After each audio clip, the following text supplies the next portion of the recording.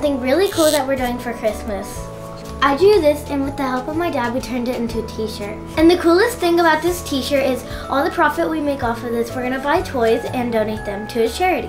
But first we need to get into the Christmas spirit.